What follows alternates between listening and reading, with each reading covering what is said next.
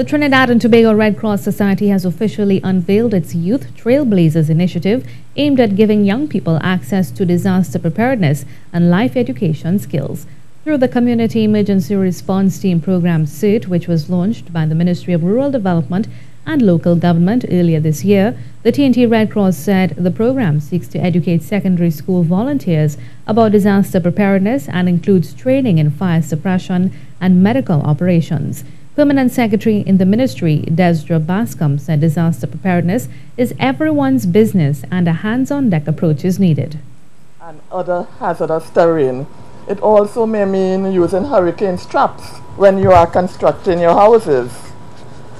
Disaster risk reduction entails promoting a culture of risk awareness. So it is also a cultural and societal change. One mechanism to encourage this can be by having national conversations. President of the TNT Red Cross Society, Jill De Bourg, said the Trailblazers Club curriculum is made of three unique elements youth as agents of behavior change, teen community emergency response teams, and enhanced vulnerability capacity assessments. The club will position itself to have a target audience mainly from students in the sciences as well as students pursuing geography and social studies.